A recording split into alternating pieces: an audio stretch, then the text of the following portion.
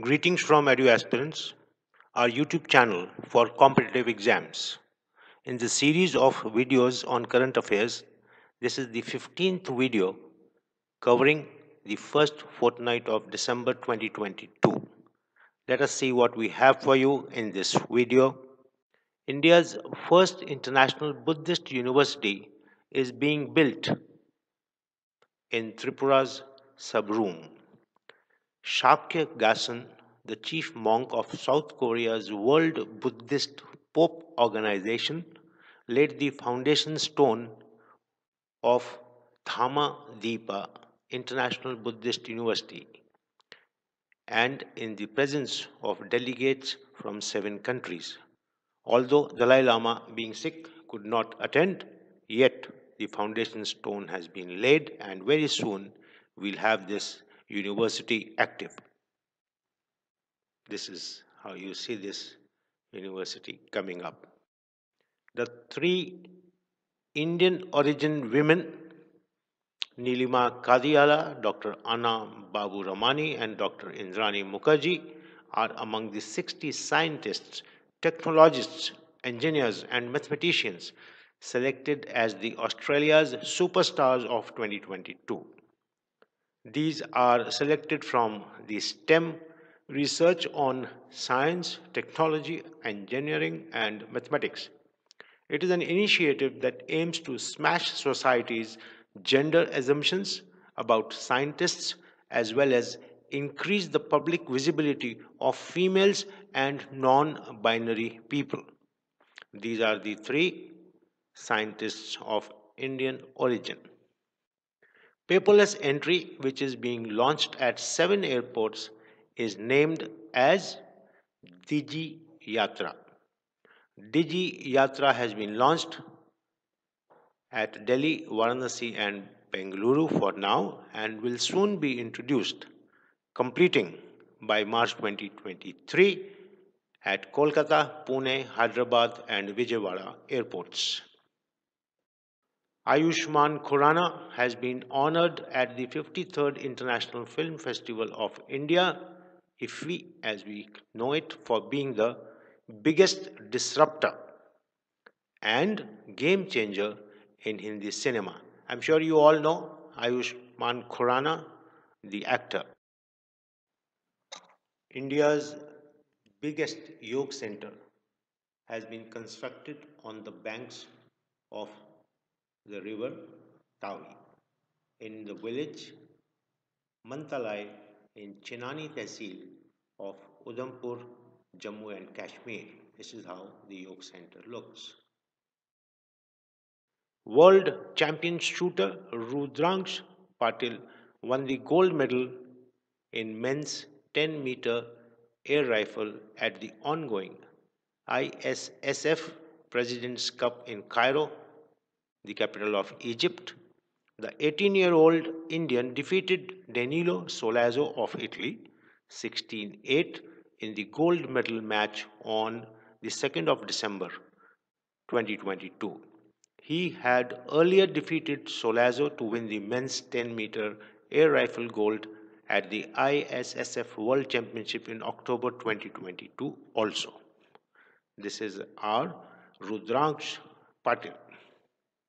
The Union Public Service Commission, UPSC, will recruit officers into the Indian Railways by the Indian Railway Management Service Examination with effect from 2023.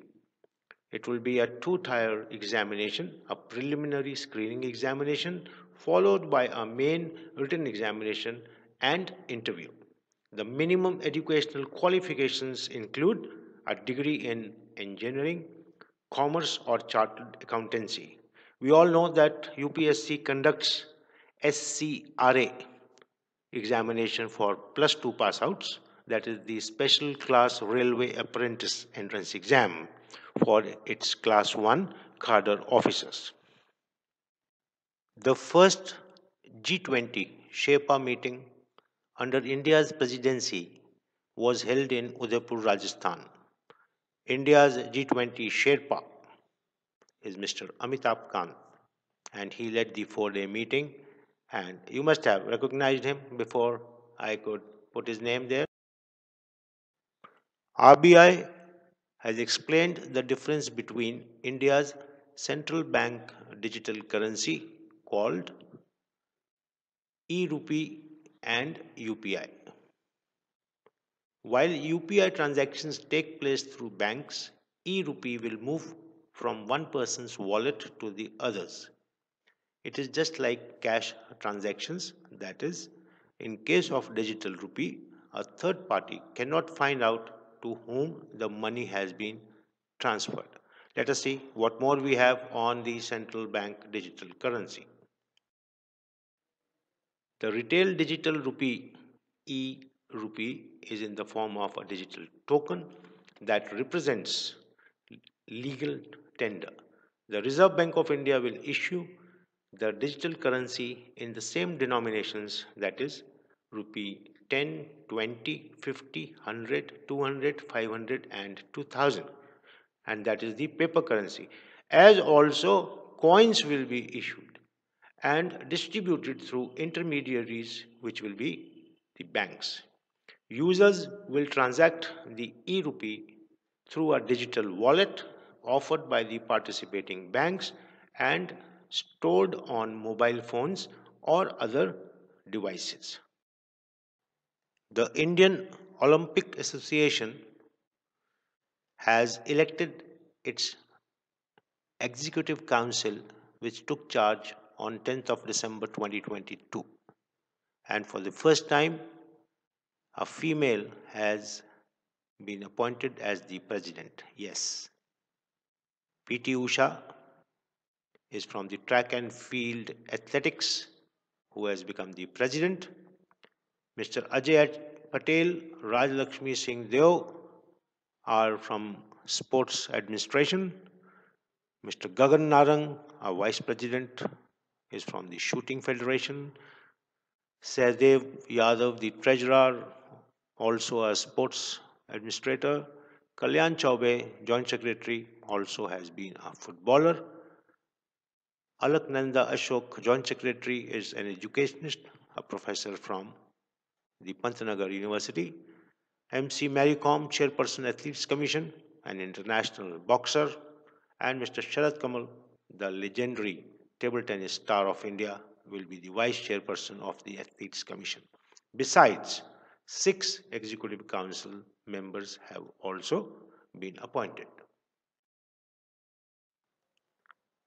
Having learnt about the five Vande Bharat Express trains, the sixth Vande Bharat Express train has been flagged off from Nagpur railway station. It will run between Nagpur in Maharashtra and Bilaspur in Chhattisgarh. The new campus of the National Academy of Rural Development and Self-Employment Training Institute, RUDSET NAR, has been inaugurated at Kumbal Godu in Bangalore. This is the building as you see. The Indian Space Research Organization and headquarters of Integrated Defense Staff successfully conducted a joint hypersonic vehicle trial which is capable of delivering military response over long distances rapidly. A hypersonic vehicle is a vehicle which can travel five times faster than the speed of sound. It can be an aeroplane, missile or spacecraft. This is the test that they have. This brings us to the end of the video on current affairs for the first fortnight of December 2022. The next video on current affairs for the second fortnight of December 2022 shall be uploaded after 31st December 2022. Please subscribe, share, like and press the bell icon for updates. Keep revising and best wishes for forthcoming examinations.